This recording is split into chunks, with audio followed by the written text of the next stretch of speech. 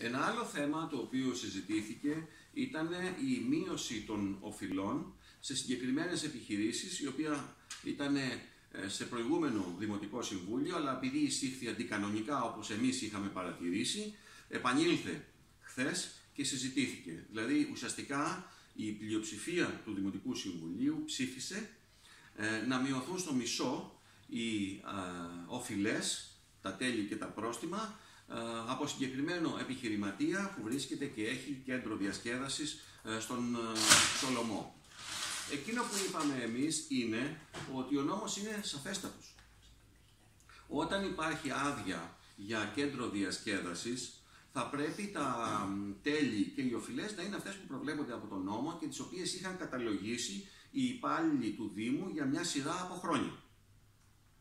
Τώρα, είπε ο κύριος Πνευματικός, ότι οι άλλοι υπάλληλοι του Δήμου, οι οποίοι ανέλαβαν να επαναυπολογίσουν τις, τα τέλη και τις οφειλές, έδωσαν πολύ μικρότερα ποσά. Οι υπάλληλοι άλλαξαν με απόφαση του κυρίου Πνευματικού. Γιατί, όπως ξέρετε, στο Δήμο Κορινθίων οι τοποθετήσεις των προϊσταμένων των διευθυντών γίνονται από το Δήμαρχο και όχι από το Υπηρεσιακό Συμβούλιο όπως προβλέπει ο νόμος, με βάση τα προσόντα τους. Οι καινούργιοι λοιπόν υπάλληλοι προσδιορίσαν πολύ χαμηλότερα ποσά. Και σας ρωτάω εγώ, πότε είχαν δίκιο οι υπάλληλοι οι οποίοι εφάρμοσαν την νομοθεσία, για τόσα χρόνια οι, παλαιότερες, οι παλαιότεροι υπάλληλοι ή οι καινούργοι που ανέλαβαν το θέμα; Και γιατί υπάρχει αυτή η τεράστια διαφορά για χρήσεις 3-4 ετών; Και υπάρχουν και άλλα χρόνια.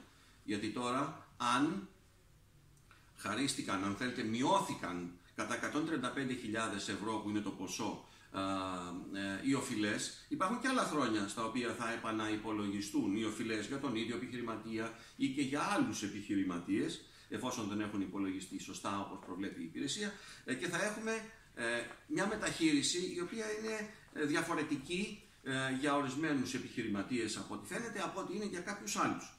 Εμάς δεν μας βρήκε σύμφωνος αυτή η λογική και καταψηφίσαμε την μείωση των οφειλών και δεχθήκαμε αυτά που είχαν αρχικά ε, προσδιορίσει οι υπάλληλοι με βάση την κείμενη ε, νομοθεσία.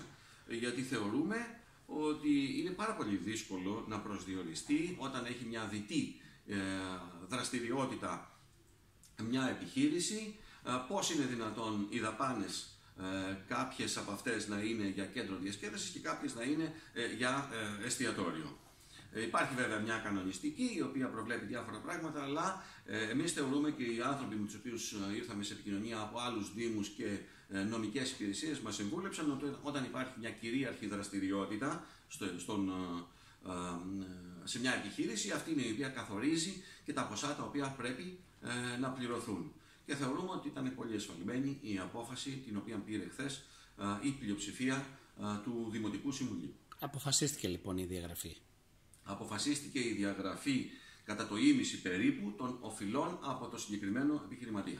Τώρα, άλλοι, επιχειρη... άλλοι επιχειρηματίες που βλέπουν ότι είχαν πληρώσει με βάση του κέντρου διασκέδασης. Γιατί αν κατάλαβα καλά είναι 5% για κέντρο διασκέδασης και 2% Άλλαξε για... αυτή την πορεία. Ήταν για τα χρόνια που μιλάμε, το 2006, 2007 κτλ.